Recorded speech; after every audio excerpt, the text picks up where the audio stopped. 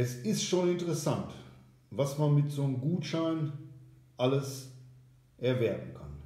Auch ein paar vernünftige Boxershorts. Natürlich mit Stil. Bürgermeister Frischplatz 4 in Ennigerloh.